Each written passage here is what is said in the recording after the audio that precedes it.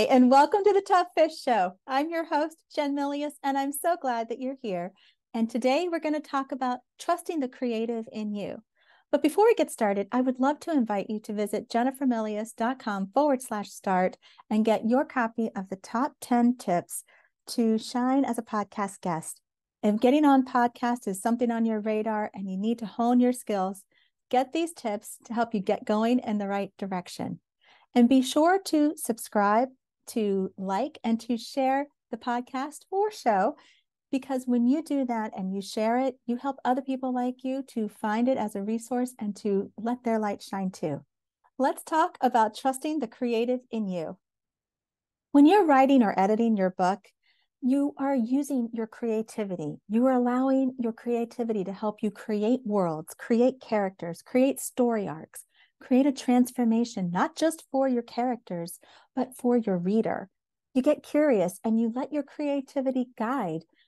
Your creativity is that guide that does help you to write powerful and moving stories, books, and messages. It's your creativity that led you to the path to write a book or to hone your message and realize that you have something you need to share, not just want to share it, but you need to share it and you followed it through to actually create an output, create something you can share. And it doesn't stop there. Your creativity helps you to move to that next level.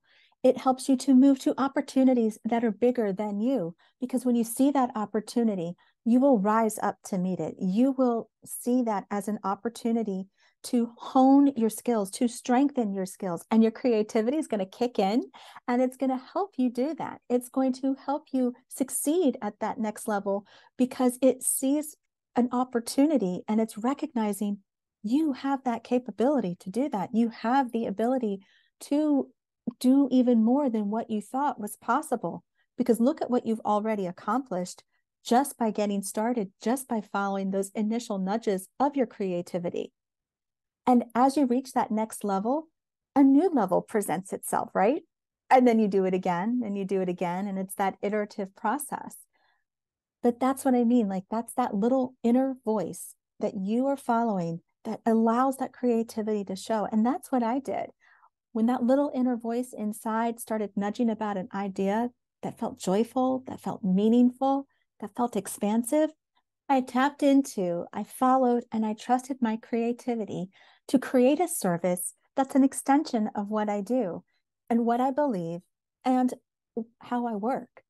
I know you've heard me say this before, but it's really important to repeat again.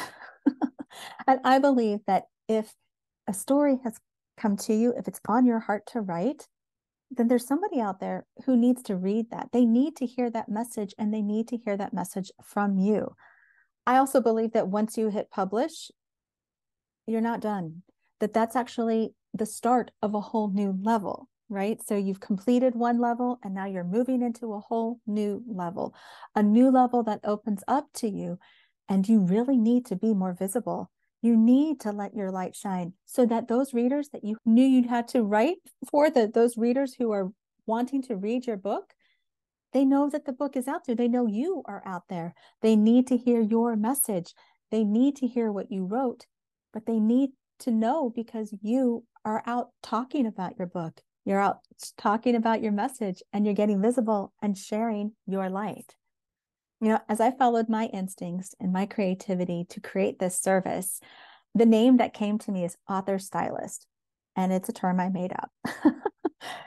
but it's perfect for me because how I define it is a creative entrepreneur who helps authors, creatives, and other introverts to share their inner greatness so that they are comfortable letting their light shine, communicating their messages, and getting visible.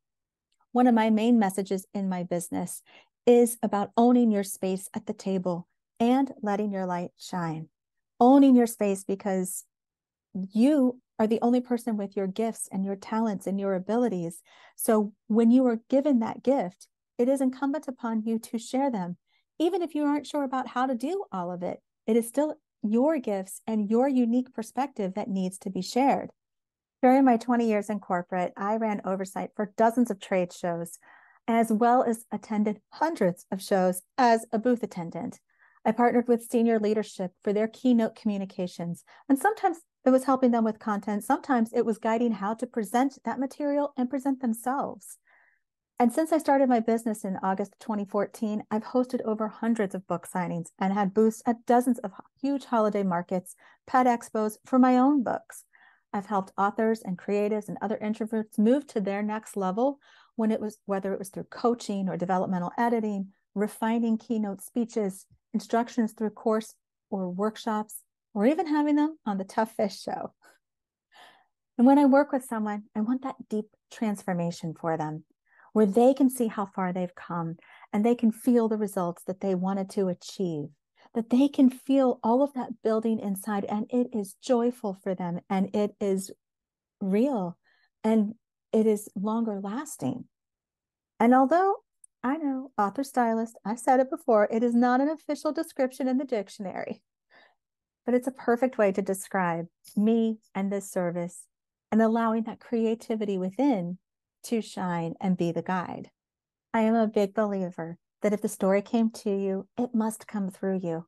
So if you're in the middle of writing that first draft, keep writing.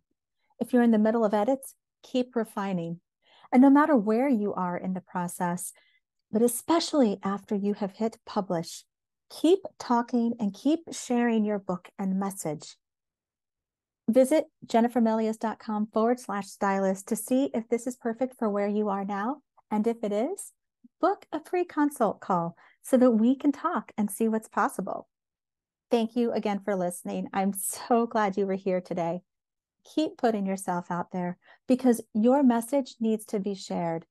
And the people who need to hear that message most, they're waiting for you because when you share it with them, they will not only take that on board, but it will have a ripple effect because they will be able to inspire others too and it started with you.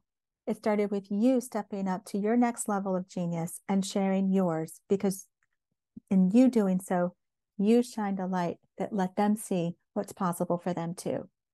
Until next time, talk to you soon.